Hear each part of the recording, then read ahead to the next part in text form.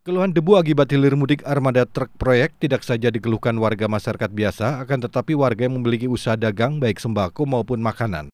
Akibat dabak debu yang berterbangan, barang dagangan diakui menjadi berdebu dan mereka harus membersihkan setiap hari.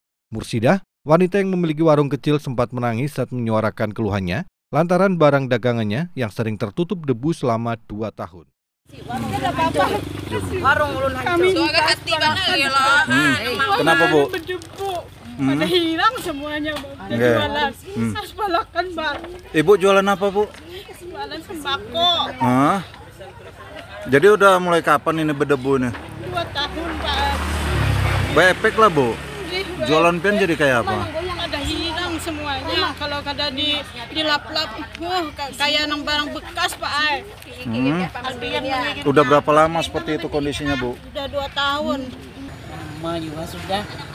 Dia bilang hendak buka warung tiap pagi dua dua mencibuk banyu, Hah? menyimbuk letak sepuluh ember ya tadi dulu. Supaya apa tadi? Supaya jangan berdebu dulu pagi itu. Hmm. Tapi banyak seperti sejam kali ya pulang. Itulah.